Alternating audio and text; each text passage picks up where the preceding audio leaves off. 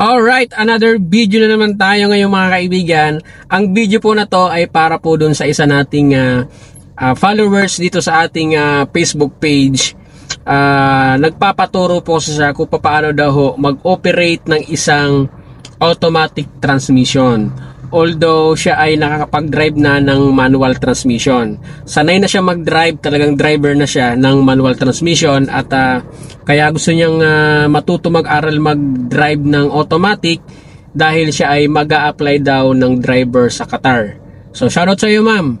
Uh, hopefully uh, uh, makuha mo tong video na uh, ituturo ko sa iyo sa video na to. Uh, ikaw naman ay marunong ka na mag-drive ng uh, manual transmission kaya mas madali mo na tong maiintindihan uh, madali lang to. Uh, ipapakita ko lang dito sa video then i-apply mo na. Madali madali lang to. So ito na. Huwag na natin patagalin. Let's go! Alright, at yun na nga mga kaibigan, ano? Ito, makikita nyo dito sa uh, harapan natin. Uh, dito sa ilalim, may mga pedal tayo dyan, automatic to. So meron tayong dalawang pedal which is yung ating uh, sana makita. Okay, brake pedal at yung ating accelerator or gas pedal. So dalawa lang po yan. So ngayon, dito sa gear natin, ayan, may mga nakasulat naman yan. Ito yung park mode, reverse, neutral, then drive, at meron siyang manual mode. So ngayon, paano to i-operate? So madali lang. So, kung sa manual transmission, sanay ka na, madaling-madali nitong matutunan. Ang gagamitin lang dito pa ay kanan po. Kanang paa lang, si kaliwang paa, nandito yan sa footrest, nagpapahinga po. Hindi po yan pwedeng gamitin. So, ang kanang paa, nakaposition sa brake pedal. Ayan. Yung sakong natin, nakalapat sa flooring. Yung tip ng paa, nakalapat sa uh, pedal. Which is nakatapat po sa brake pedal. Yung gas pedal nandun po sa kabila. Kasi ang magiging footwork niyan ay uh, sideways. Kumbaga isi-switch mo lang yan. Ayan so gas brake gas brake. So yan yung magiging footwork dyan. So madali na lang yan kung ikaw ay sanay na ng manual transmission. Dito sa gear natin kung uh, ikaw ay nagpark or tumigil ka sa paradahan or iiwanan mo yung sasakyan mo, so make sure na ilalagay natin to sa letter P or park mode. Kung intention mong mag-reverse, ilalagay mo sa reverse, neutral, then drive. So ito, pakita natin. So reverse, ayun. So make it sure mga kaibigan, balik muna natin sa, sa park mode. Bago natin to galawin, dapat nakalong press tayo sa brake pedal. Okay? Kasi Once na inilagay natin yan sa reverse or drive na hindi tayo naka uh, press sa ating brake pedal, gagalaw na po yung kotse nyo. Kung naka-reverse po yan, atras po yung kotse nyo. Kung inilagay nyo sa drive, pwede siyang mag-move forward.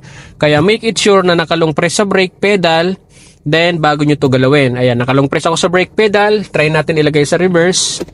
So, yan yung reverse. Pagka inalis ko yung pa ako sa brake pedal, at uh, dinisengage natin yung handbrake natin, mag-move backward na yan. Ito yung neutral. So ang neutral, pareho lang yan ng manual transmission. Kapag naka-neutral, walang naka-engage na gear. Okay? Uh, drive mode, ito drive mode or naka-D mode. Ayan. Actually, makikita nyo yan dito sa dashboard. Yan. Pag inalis natin yung paa sa brake pedal at uh, dinisengage natin yung ating handbrake, mag-move forward na po yung ating kotse. So ngayon, uh, ano ba yung starting procedure dito sa isang automatic transmission? So balik muna natin ng park mode. Okay. So make it sure mga kaibigan, ito lang kong sinasabi naman, magsusuot po kayo ng seatbelt syempre. Kahit na manual, sa, uh, manual transmission, eh dapat naka seatbelt. So ito, para kay uh, para po dun sa isa nating followers na nag-request uh, ng tutorial para sa automatic. Ito yung starting procedure So long press sa brake. Ayan, so assuming ito po naka-start na yung ating engine, napa-start na natin. Then ang unang ang sunod po natin gagawin, ilalagay po natin ng drive mode.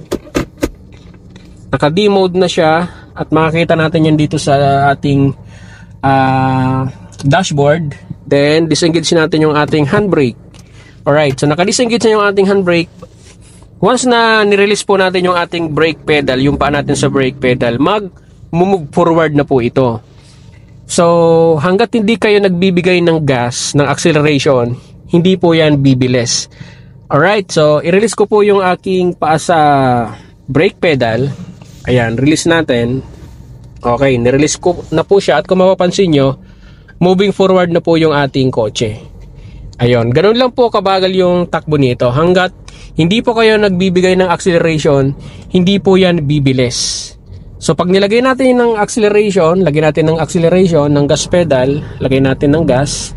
So medyo mag increase siya ng speed at makikita mo naman dito yan sa uh, dashboard ng kotse. Ayun. Ngayon kung titigil ka, So, yung paa mo sa accelerator, i-release mo yan, ililipat mo lang sa brake pedal. So, gently press the brake pedal para makapag-create tayo ng pag-slow down or pagbabagal. So, ito. Yan. So, gently lang at kung mapapansin po natin, medyo bumabagal na po yung sasakyan natin hanggang sa tumigil siya. Yan. Okay. So, kapag naka-full stop na po kayo, so ito, naka-drive mode pa yan, ang gagawin natin dyan, actually, pwede na natin siyang ilagay sa park mode.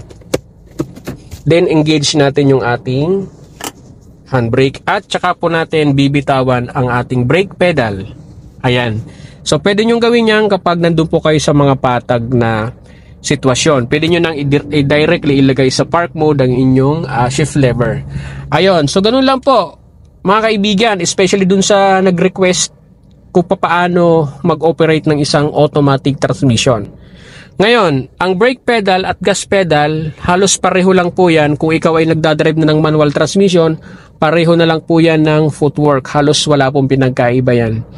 So, kung ikaw naman ay reverse, so syempre kung ikaw ay aatras, so kagaya ng sinabi ko, bago natin galawin tong ating uh, transmission or ating uh, gear shift lever na to, so long press sa brake pedal, kung intention mong mag-reverse, so ilalagay mo ng reverse. Tapos disengage natin yung handbrake natin. Pag nirelease po natin yung ating paa sa brake pedal, moving backward na po yung kotse natin. So, try ko po, i-release ko po yung brake natin, yung aking paa sa brake pedal. At kung mapapansin nyo, ayan. So, nag moving backward na po yung ating uh, sasakyan.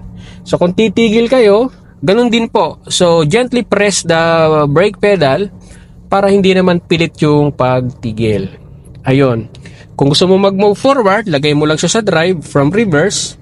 Ayan, naka-full stop yung kotse. Lagay sa drive. Pag binitawan natin yung paa natin sa brake pedal, moving forward na po yan. Pag naglagay tayo ng konting gas, magkakaroon tayo ng konting speed the more na binibigyan natin ng uh, pressure yung accelerator pedal, mag increase po yung ating speed at makikita natin yan dito sa ating speedometer. Alright? So, hopefully, uh, nasagot ko ho yung uh, katanungan, yung uh, nire-request ng isa nating followers sa ating Facebook page. Yun lang mga kaibigan, uh, comment lang kayo dyan sa baba kung mayroon po kayong mga request at uh, sisikapin natin, itatry natin na magawa ng tutorial yan. Yun lamang! Bye bye.